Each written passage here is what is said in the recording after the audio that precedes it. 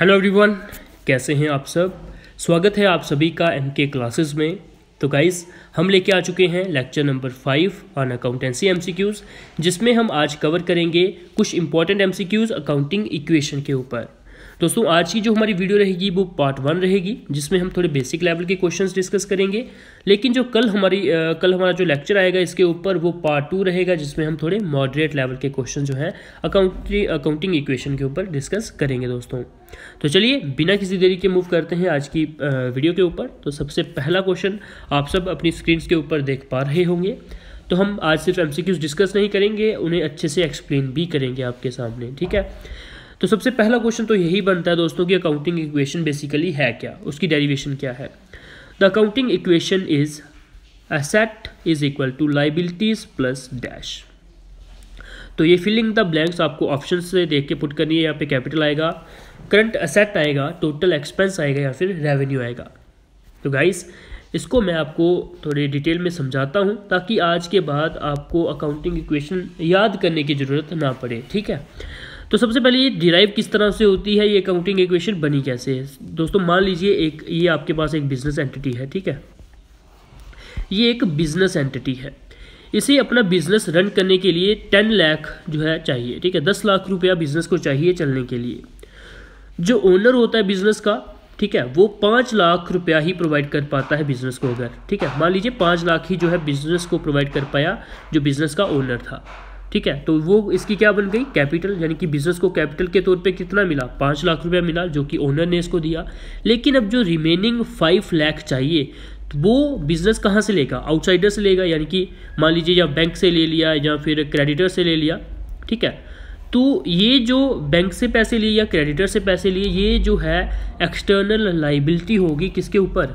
Business के ऊपर, ठीक है? तो पाँच लाख तो उसने ओनर से ले लिया एज ए कैपिटल लेकिन जो रिमेनिंग फाइव लाख था, वो उसने आउटसाइडर से ले लिया, जैसे बैंक या फिर क्रेडिटर से ले लिया तो ये इसने अपना जो है टेन लाख इस तरह से कंप्लीट कर दिया। तो अब अगर आपको कोई पूछे कि जो बिज़नेस के पास टोटल असेट्स हैं, वो कितने हैं तो आप सिंपली बोलोगे जितनी कैपिटल जो है बैंक बिज़नेस ने ओनर से ली है, वो आ गई। प्लस जितनी लाइबिलिटीज़ उसके ऊपर है, क्योंकि उसने बैंक या फिर क्रेडिटर से जो है रिमेनिंग फाइव लाख लिए थे। क्लियर है? तो यानी कि assets is equal to capital plus जो लाइबिलिटीज़ यानी कि जो बाहर से आउटसाइडर से पैसे लिए हैं तो वो लाइबिलिटी आ गई। यही तो असेट होता है। इस तरह से जो है ये डेरिवेशन जो है की गई है अकाउंटिंग इक्वेशन की।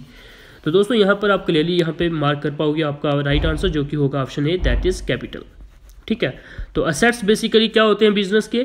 कि बिज़नेस के ऊपर कितनी लाइबिलिटीज़ है प्लस कितनी कैपिटल है। वही जो है असेट्स होते हैं किसी भी बिज़नेस के। क्लियर है गाइस यहाँ पे कैपिटल आपका राइट आंसर होगा। चलिए मूव करते हैं नेक्स्ट क्वेश्चन के ऊपर।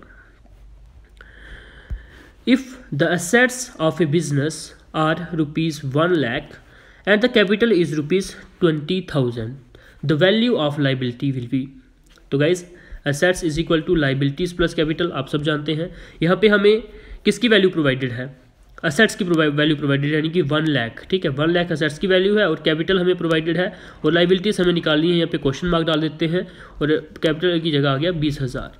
तो क्वेश्चन मार्क की वैल्यू यहाँ से आप क्लियरली निकाल पाओगे, जब बीस हज़ार उस साइड जाएगा तो एट्टी थाउज़ेंड जो है वो आपकी लाइबिलिटी बच जाएगी।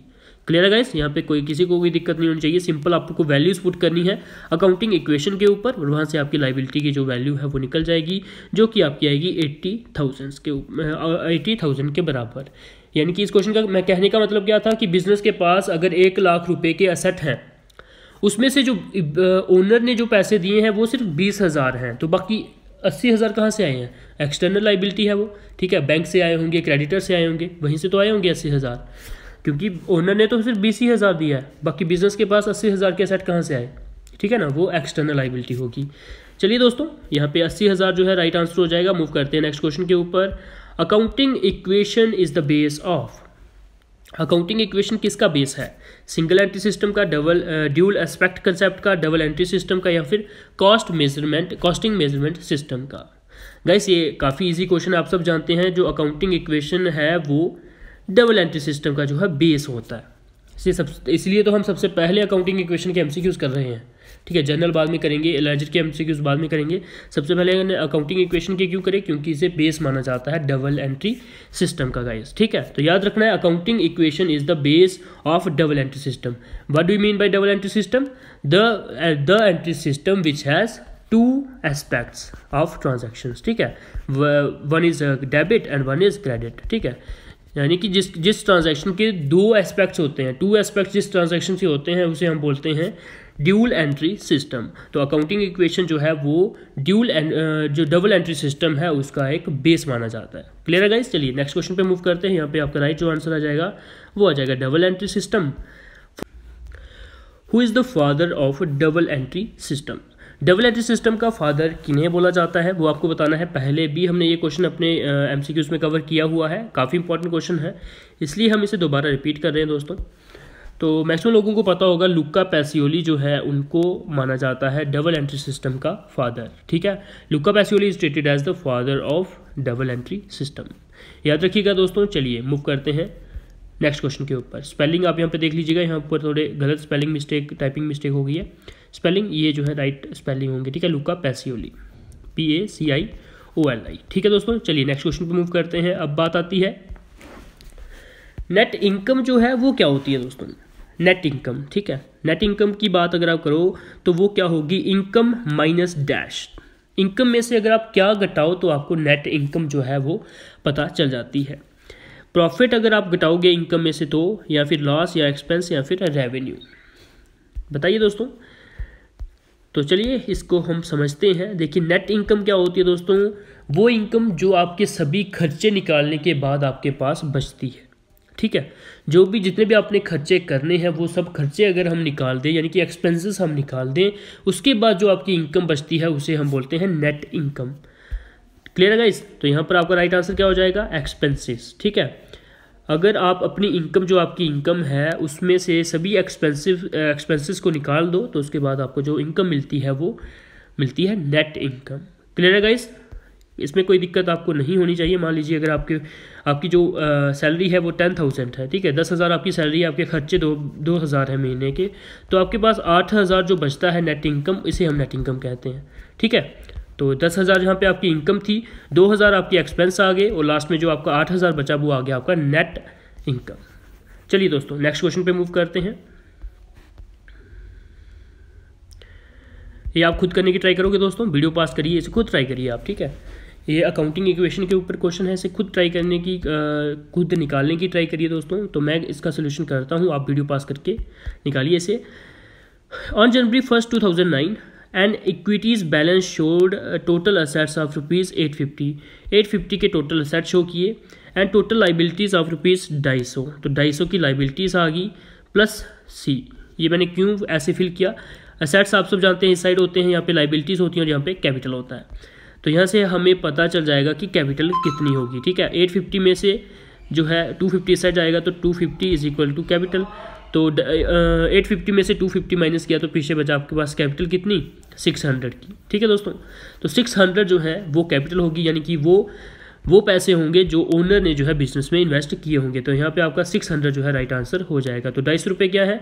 एक्सटर्नल लाइबिलिटी यानी कि एक्सटर्नल सोर्स से जो बिज़नेस से पैसे लिए होंगे, वो आ गए आपके ढाई सौ रुपये क्लियर है गाइस तो यहाँ पे सिक्स हंड्रेड आपका राइट आंसर आ जाएगा, यानी कि इक्विटी यानी कि जो ओनर्स की इक्विटी थी या ओनर्स की कैपिटल थी, वो थी सिक्स हंड्रेड रुपीज़ होप आप सबका ये राइट आंसर हुआ होगा मार्क चलिए नेक्स्ट क्वेश्चन पे मूव करते हैं. Accounting principles are generally based on accounting principles दोस्तों जो होते हैं, वो किसके ऊपर बेस्ड होते हैं? वो प्रैक्टिकल के ऊपर बेस्ड होते हैं सब्जेक्टिव होते हैं कन्वीनियंस होते हैं रिकॉर्ड करने के लिए, या फिर ऑल ऑफ़ अबव तो गाइस आप सबने आप सबने याद रखना है, जो अकाउंटिंग प्रिंसिपल्स होते हैं, वो प्रैक्टिकल के ऊपर बेस्ड होते हैं, यानी कि प्रैक्टिकलिटी प्रैक्टिकेबिलिटी के ऊपर जो है बेस्ड होते हैं सब्जेक्टिव नहीं होते हैं। तो ठीक है, ये याद रखना है आपने। Accounting principles are generally कैलकु generally calculative आप बोल सकते हो प्रैक्टिकल जो है, आप इसे बोल सकते हो। प्रैक्टिकबिलिटी के ऊपर जो है इसके सभी प्रिंसिपल्स बेस्ड होते हैं। क्वेश्चन इस तरह के एग्ज़ाम में अक्सर पूछ लिए जाते हैं दोस्तों तो याद रखना है आपने। क्योंकि आप सब जानते हैं ये प्रैक्टिकल टॉपिक ही प्रैक्टिकल है। ठीक है, अगर आप इसकी कैलकुलेशन देखोगे तो सेवेंटी परसेंट जो है ये कैलकुलेशन के ऊपर बेस्ड है। ठीक है प्रैक्टिकल्स के ऊपर बेस्ड है। थ्योरी इसमें नियर अबाउट थर्टी परसेंट ही आपको देखने को मिलती है। ठीक है तो प्रैक्टिकल एस्पेक्ट पे आपने ज़्यादा फोकस रखना है अपना दोस्तों। चलिए नेक्स्ट क्वेश्चन पे मूव करते हैं। According to the money measurement concept the following would be recorded in the books of account of the business money measurement concept आप सबने स्टार्टिंग में ही पढ़ा होगा जब आपने अकाउंटेंसी स्टार्ट करी होगी। तो मनी मेज़रमेंट कंसेप्ट ये कहता था कि हम उन ट्रांजैक्शंस को रिकॉर्ड करेंगे जो कि मनी की टर्म्स में रिप्रेजेंट हो पाए। ठीक है? उन्हीं ट्रांजैक्शन को हम रिकॉर्ड करेंगे जो मनी की टर्म्स में रिप्रेजेंट हो पाए। तो देखिए इनमें से कौन सी जो ऐसी ट्रांजैक्शन है जिसे आप मनी की टर्म्स में जो है लिख सकते हो? Health of the director of the company health को आप मनी की टर्म्स में लिख सकते हो? नहीं लिख सकते हो। Quality of the companies good company की जो गुड्स हैं, उनकी क्वालिटी को आप लिख सकते हो मैथमेटिकली मनी की टर्म्स में नहीं लिख सकते हो। वैल्यू ऑफ़ प्लांट मशीनरी जो आपकी मशीनरी यूज़ हुई है, उसको आप मनी की टर्म्स में, उसकी जो वैल्यू है, उसे आप मनी की टर्म्स में लिख सकते हो। बिल्कुल लिख सकते हो तो यहाँ पे आपका जो राइट आंसर आएगा दोस्तों, वो होगा option number third that is value of plant machinery की जो ट्रांजैक्शन होगी, उसे हम रिकॉर्ड कर सकते हैं अपनी बुक्स ऑफ़ अकाउंट्स में। ठीक है दोस्तों? चलिए नेक्स्ट क्वेश्चन पे मूव करते हैं। अकॉर्डिंग टू दिस कंसेप्ट ठीक है? इस कंसेप्ट के according it is assumed that business will exit for indefinite time exit नहीं आएगा दोस्तों एग्जिस्ट आएगा यहाँ पे। ठीक है? Exist for indefinite time period कि जो आपका हम कौन से कंसेप्ट के थ्रू जो है अकॉर्डिंग जो है, हम ये अज्यूम करते हैं कि जो हमारा बिज़नेस है, वो लॉन्गर पीरियड ऑफ़ टाइम तक जो है चलेगा। ठीक है? वो कौन सा कंसेप्ट है जिसके थ्रू हम ये अज्यूम करते हैं? ठीक है, बताइए दोस्तों ऑप्शन आपको प्रोवाइडेड है। Realization concept going concern concept business entity concept या फिर नन ऑफ़ द अबव तो गाइस यहाँ पे ध्यान रखना है आपने कि वो कंसेप्ट जिसके थ्रू हम अज्यूम करते हैं कि जो हमारा बिज़नेस है, वो लॉन्गर पीरियड ऑफ़ टाइम के लिए जो एग्जिस्ट करेगा, उसे हम बोलते हैं गोइंग कंसर्न कंसेप्ट ठीक है गोइंग कंसर्न कंसेप्ट जो है इसका राइट आंसर होगा गाइज़ चलिए नेक्स्ट क्वेश्चन पे मूव करते हैं. बताइए दोस्तों यहाँ पे, ये भी जो है आपका अकाउंटिंग इक्वेशन के ऊपर बेस्ड क्वेश्चन है. Assets minus liabilities is equal to question mark assets किसके बराबर होते हैं दोस्तों? बताइए खुद ही. क्वेश्चन जो है वीडियो पास करके खुद अटैम्प्ट करने की ट्राई करिए। तो आप सब जानते हैं असेट्स जो है वो लाइबिलिटीज़ प्लस कैपिटल के बराबर होते हैं। यहाँ पे क्या किया हुआ है? असेट्स यहीं पे रहने दिए हुए हैं और लाइबिलिटीज़ को इक्वल टू के इस साइड ला दिया है। तो ये किसके बराबर आएगा? यहाँ पे क्वेश्चन मार्क की जगह क्या आएगा? यहाँ पे आप देख रहे हो कैपिटल आएगा। तो ऑप्शन नंबर थर्ड यहाँ पे आपका राइट आंसर हो जाएगा। ठीक है दोस्तों? चलिए नेक्स्ट क्वेश्चन पे मूव करते हैं। आज थोड़े बेसिक लेवल के क्वेश्चन दोस्तों। कल आपको थोड़े से हम ट्रिकी क्वेश्चन जो है वो प्रोवाइड करेंगे। इलेवंथ क्वेश्चन पे मूव करते हैं। If assets are eight thousand and capital is six thousand liabilities will be खुद करिए, ठीक है? कमेंट्स में बताइए। इस क्वेश्चन को खुद करिए और कमेंट्स में बताइए। काफ़ी इजी क्वेश्चन है। इसमें एक्सप्लेन करने से आपका जो है, आपका जो है, आप यहाँ पे राइट आंसर जो है देख चुके होंगे। चलिए कर ही देते हैं इसको। Assets is equal to liabilities plus capital तो असेट्स आपको आठ हज़ार दिए हुए हैं और कैपिटल जो है आपको छः हज़ार दिए हुए हैं। तो लाइबिलिटीज़ कितनी हो जाएँगी? Eight thousand minus six thousand यानी कि जो लाइबिलिटीज़ है वो आपकी आ जाएगी दो हज़ार। ठीक है दो, दोस्त, कोई दिक्कत आपको इसमें नहीं आनी चाहिए। चलिए नेक्स्ट क्वेश्चन पे मूव करते हैं। The accounting equation represent accounting equation जो है वो क्या रिप्रेजेंट करती है? Sources are allocated at cost price owners gives money for the business resources in the business are equal to the sources of the business resources in the business are not equal to the sources of the business guys ये था थोड़ा सा अच्छा question जिसे आप बोल सकते हो. एग्जामिनेशन पॉइंट ऑफ़ व्यू से भी काफ़ी इंपॉर्टेंट हो सकता है. ये बताइए दोस्तों अकाउंटिंग इक्वेशन जो होती है, वो बेसिकली रिप्रेजेंट क्या करती है? ठीक है, वो बताइए आप. अच्छे से पढ़िए टाइम लीजिए अपना, अच्छे से बताइए, समझ, सोच समझ के. तो गाइस यहाँ पर जो आपका राइट आंसर होगा, वो होगा option number third that is resources of the business are equal to sources of the business. कैसे? अकाउंटिंग इक्वेशन आप सबको याद होगी। Assets is equal to liabilities plus capital. यही तो अकाउंटिंग इक्वेशन थी ना। तो इसमें जो असेट्स है दोस्तों, वो आ गया आपके रिसोर्सेज ऑफ़ द बिज़नेस। ठीक है? क्योंकि जिसकी वजह से जो है आपका बिज़नेस चल रहा है, ठीक है? इसके बाद are equal to equal to का साइन आ गया to the sources of the business और लाइबिलिटीज प्लस कैपिटल जो है सोर्स है आपके बिज़नेस के स्टैंड होने के लिए। क्योंकि लाइबिलिटी और कैपिटल अगर आपके बिज़नेस के पास है, तभी तो आपका बिज़नेस चल पा रहा है। अगर उसके पास कैपिटल ही नहीं होगी, ठीक है? जो रिक्वायर्ड मनी उसको चाहिए, वही नहीं होगी तो आपका बिज़नेस चलेगा कैसे? ठीक है तो sources of the business are equal to the resources of the business ये जो है आपकी अकाउंटिंग इक्वेशन रिप्रेजेंट करती है दोस्तों। याद रखिएगा, चलिए मूव करते हैं नेक्स्ट क्वेश्चन के ऊपर। किसी को कोई भी दिक्कत दोस्तों कहीं पर भी आती है तो आपने हमें कमेंट्स में बता देना है। अगर हम कमेंट्स में अगर आपको डाउट जो है क्लियर कर पाए तो हम कमेंट्स में ही आपका डाउट क्लियर कर कर देंगे। अगर नहीं कर पाए तो नेक्स्ट वीडियो में आपके डाउट को जो है ज़रूर हम कवर करेंगे गाइस ठीक है? तो बताना ज़रूर है कमेंट्स में आपने कोई दिक्कत आपको अगर आती है। चलिए नेक्स्ट क्वेश्चन पर मूव करते हैं question number thirteen accounting provide information on accounting जो है किसके ऊपर आपको इन्फॉर्मेशन जो है प्रोवाइड करती है? Cost and income of the managers companies tax and liabilities for a particular year financial condition of the institute या फिर ऑल ऑफ़ अब गाइस ये क्वेश्चन आप सबने कवर भी किया होगा कई बार। ठीक है?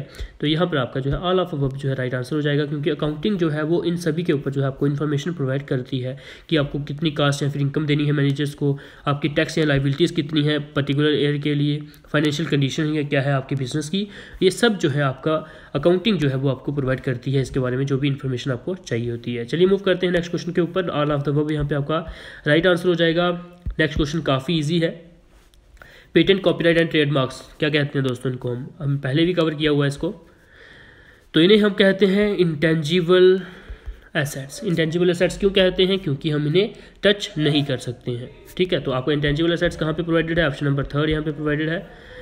तो all those assets which we can't touch are known as intangible assets patent को आप टच नहीं कर सकते कॉपीराइट को आप टच नहीं कर सकते, ना ही आप ट्रेडमार्क्स को टच कर सकते हो। ठीक है? तो इंटेंजिबल आगे और एक एक होती है टेंजिबल एसेट्स तो वो आप सब जानते हैं कौन से होते हैं जिनको आप टच कर सकते हो, जिनकी कोई पर्टिकुलर एग्जिस्टेंस होती है, जैसे आपका फर्नीचर आ गया। फर्नीचर को आप टच कर सकते हो तो वो आपका टेंजिबल असेट्स है। ठीक है दोस्तों? चलिए नेक्स्ट क्वेश्चन पे मूव करते हैं। लास्ट क्वेश्चन है ये आपका। Which of the following will cause owners equity increase owners की जो कैपिटल उसने लगाई होती है, उसकी इंक्रीज किसकी वजह से हो जाती है? किसकी वजह से जो है इंक्रीज उसकी कैपिटल हो सकती है? ये आपको बताना है। ऑप्शंस आपको प्रोवाइडेड हैं गाइस कि आपको बताना है जो नीचे आपको ऑप्शंस प्रोवाइडेड है, इनमें से ओनर्स की इक्विटी जो है, किसकी वजह से बढ़ सकती है? वो आपको बताना है। एक्सपेंस की वजह से बढ़ सकती है ओनर की इक्विटी नहीं बढ़ सकती। एक्सपेंस की वजह से तो घट जाएगी, ठीक है? ओनर अगर ड्राई अगर ओनर जो है खुद ही अपनी मनी ड्रा कर लेगा, तब भी उसकी जो कैपिटल है वो डिक्रीज हो जाएगी तो यह भी नहीं आएगा। रेवेन्यू रेवेन्यू दोस्तों, यानी कि अगर बिज़नेस प्रॉफिट करता है तो ओनर की इक्विटी ऑटोमेटिकली बढ़ेगी, क्योंकि ओनर्स की जो इक्विटी है उसी में ओनर की जो कैपिटल होती है उसी में जो रेवेन्यू जो है हम ऐड करते हैं। आप सब जानते हैं जो बिज़नेस अंत में जो प्रॉफिट करता है वो कहाँ जाता है? In the capital of the जो कैपिटल होती है, उसमें जाता है। कैपिटल में प्लस होता है, आप सब जानते हैं। जो भी रेवेन्यू बिज़नेस में बिज़नेस में होता है तो वो कैपिटल में प्लस होता है। तो उसकी वजह से इंक्रीज हो जाएगी आपकी जो कैपिटल होगी ओनर की। ठीक है दोस्तों? तो रेवेन्यू यहाँ पे राइट आंसर होगा। लॉस की वजह से तो घट जाएगी। क्लियर है? तो यहाँ पर आपको क्लियरली ऑप्शन दिख रहा होगा रेवेन्यू की वजह से जो है आपकी ओनर की जो इक्विटी होती है वो बढ़ती है। क्योंकि बिज़नेस जो भी रेवेन्यू जनरेट करता है वो कैपिटल में एंड में कैपिटल में जो है प्लस किया जाता है। ठीक है दोस्तों? ये सब चीज़ें जो मैं भी आपको, ये चीज़ मैं आपको जो बता रहा हूँ कैपिटल में जो है रेवेन्यू प्लस होता है, ये सब आपको आगे जो है पता चल जाएगा जब हम आगे मूव करेंगे। ये जो है आता है आपका ट्रायल बैलेंस ट्रायल बैलेंस और लेजर करने के बाद जो है ये कंसेप्ट आपको अच्छे से क्लियर हो जाएगा कि कैपिटल जो है कैपिटल में क्यों प्लस की जाती है, जो भी रेवेन्यू जो है वो जो कम गेन होता है, वो कैपिटल में ही क्यों प्लस किया जाता है, ये सब आपको जो है कवर हो जाएगा नेक्स्ट जो हमारी वीडियोस आएँगी। दोस्तों, आज हमने जो है नियर अबाउट फिफ्टीन क्वेश्चन लिए थे तो होप आपको कुछ सीखने को मिला होगा इनमें से और मैक्सिमम क्वेश्चन आपके ठीक भी हुए होंगे और जो छोटे मोटे आपके, अगर आपके डाउट्स थे तो वो भी क्लियर हुए होंगे और अगर आपको कोई डाउट बचता है तो कमेंट सेक्शन में आप सबको बताने हैं अपने डाउट्स तो दोस्तों, आज की वीडियो में इतना रखते हैं। तो अगर अभी तक आपने हमारे यूट्यूब चैनल को सब्सक्राइब नहीं किया है तो ज़रूर से हमारे यूट्यूब चैनल को सब्सक्राइब कर लीजिएगा। डेली सिक्स लेक्चर्स आप सबके लिए अपलोड किए जाते हैं हमारे यूट्यूब चैनल के ऊपर। ठीक है डिफरेंट सेक्शंस के ऊपर अपलोड किए जाते हैं डेली सिक्स लेक्चर्स तो ज़रूर से देखिएगा, आपकी हेल्प होने वाली है उनसे। और एवरी लेक्चर्स की जो पी है, हमारे टेलीग्राम चैनल के ऊपर अपलोड की जाती हैं। तो टेलीग्राम चैनल से आप पी भी डाउनलोड कर सकते हैं। हमारे टेलीग्राम चैनल का नाम है दोस्तों ए एम के ए वाई, ठीक है, एम के क्लासेस। तो जाइए टेलीग्राम ऐप पे सर्च करिए एम के क्लासेज और वहाँ पे हमने जो भी पी प्रोवाइड की हैं, उनको देखिए, उनसे पढ़िए, ठीक है। आज की वीडियो में इतना ही रखते हैं दोस्तों all the best keep preparing for your exam